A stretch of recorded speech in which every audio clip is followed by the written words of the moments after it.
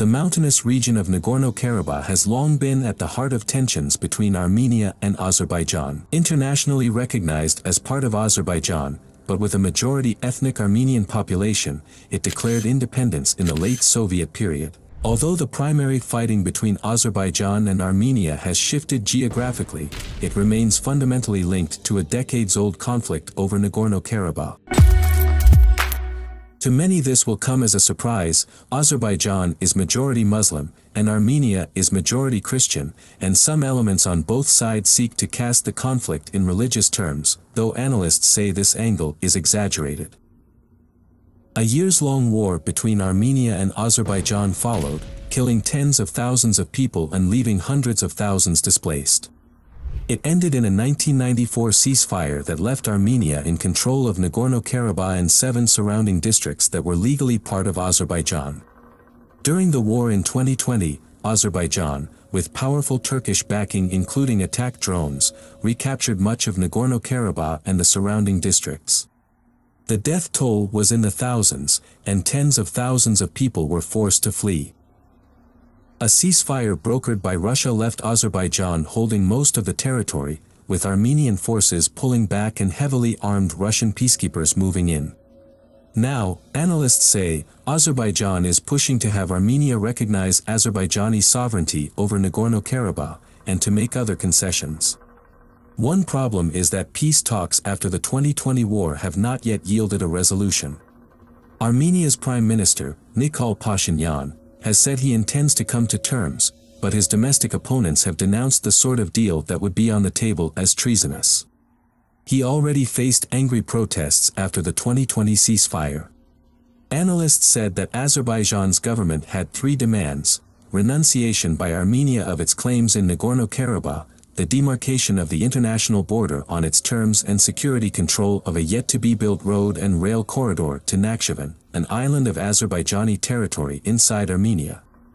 That would also connect Azerbaijan with Turkey. Azerbaijan's military action amounted to probing that aimed to alter the facts on the ground where possible and to press Armenia to negotiate a treaty on its terms. Russia has laid claim to two roles in this dispute, brokering ceasefire deals while also guaranteeing Armenia's security. The first role has so far helped it avoid the full potential costs of the second. The Prime Minister of Armenia spoke by phone with President Vladimir Putin just recently, and the Kremlin brokered a rapid ceasefire, calling on the two sides to respect the 2020 agreement. But that initial ceasefire did not hold, leading the United States to use its influence with both sides to halt fighting. And Putin did not offer military aid. Moscow's ability to project strength in the South Caucasus, for example by supplying arms or providing other military support to Armenia, is constrained by its war in Ukraine. But Moscow may also find its double role in the South Caucasus, harder to maintain if the situation grows more dangerous. In 2020, the line between the two forces was in territory occupied by Armenia inside Azerbaijan.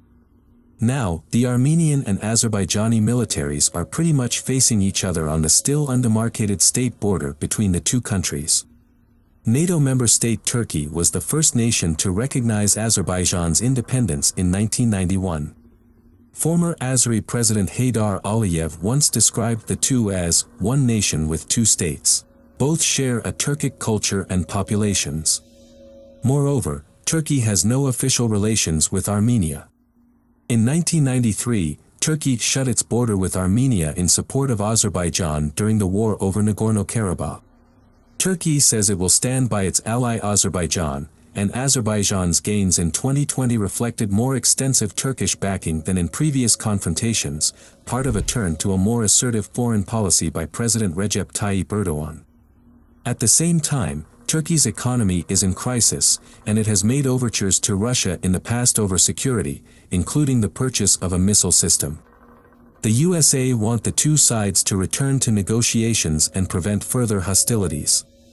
This is in line with the stance of the Minsk group of states, the United States, Russia and France, which have been cautious in assigning blame. More broadly, Washington has long sought influence in the South Caucasus and other states in the former Soviet Empire. The wider South Caucasus is a crucial artery for gas and oil from Azerbaijan into Turkey and on to Europe and other world markets. The European Union, meanwhile, has redoubled efforts for a peace deal since the 2020 war. The leaders of Armenia and Azerbaijan held peace talks in Brussels in late August this year. But Europe's position is now complicated by its search for additional natural gas supplies to make up for the loss of Russian imports given the war in Ukraine. In mid-July, the European Commission President, Ursula von der Leyen, visited Azerbaijan to sign an agreement with Azerbaijan's president, Ilham Aliyev.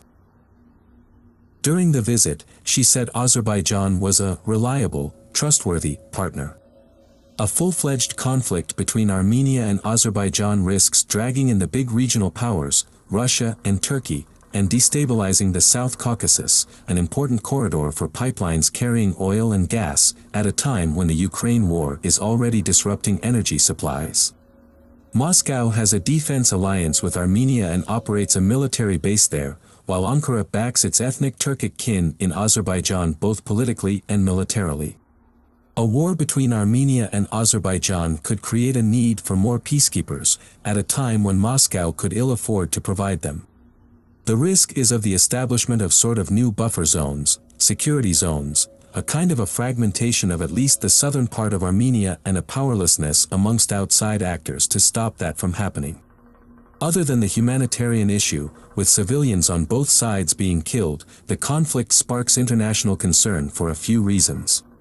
Turkey has already declared its staunch support for Turkic-speaking Azerbaijan, while Russia has a security alliance with Armenia, though it sells weapons to both countries. Moscow and Ankara have been jostling for influence in different theaters around the world including in Syria and Libya. Furthermore, Moscow's stake in the Nagorno-Karabakh conflict, while also fighting in Ukraine, adds a fresh element of uncertainty to the crisis. Russia does not want any escalation that would require its response. The West does not want an escalation that would lead Russia to beef up its military presence in the region, which has already grown since 2020. As for what the mediators tell Baku and Yerevan, the core message has not changed, efforts to resolve the parties' long-running dispute militarily are likely to produce nothing better than a brittle, unsustainable peace. Instead, they say, the parties should return to the negotiation table, where they can best achieve their objectives. Important as this message is, however, it will also be vital to convey a sense of urgency. The frequency of fighting over the course of 2022 is cause for alarm. Absent significant outside pressure, the 30-year conflict could too easily flare up anew, especially as September's fighting stokes fresh anger in a region still raw from the 2020 war.